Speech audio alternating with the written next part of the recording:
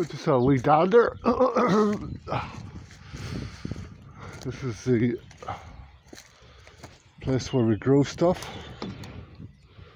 I've never been in this way actually. Oh, this, we should come in for that though. Ah, where are my potatoes? Where are my potatoes? Quite possibly under there. I'm not too sure. I can see all that stuff. Look at that. Nice. Nice. Loads of stuff. Wonder if the potatoes are under there. Anyway, I'll come back someday and have a look at these. Do, do, do, do. All the lettuce, spinach, rapeseed. Hmm. I wonder what's in there.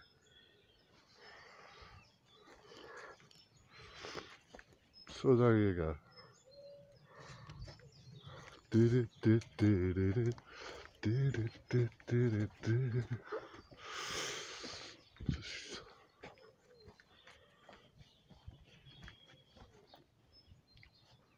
Yeah, the potatoes must be under there.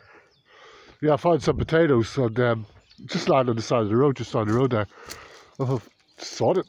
I'm going to plant them, and uh, that's what we're going to do for sure. Just like that. Yeah, this is an orchard, loads of apples and stuff, so loads of plenty of fruit. That's pretty cool. Let's have a look through here. Yeah, there's the property just there.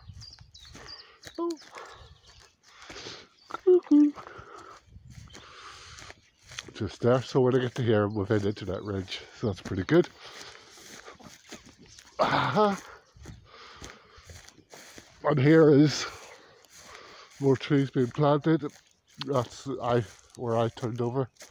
And just over there is the goat.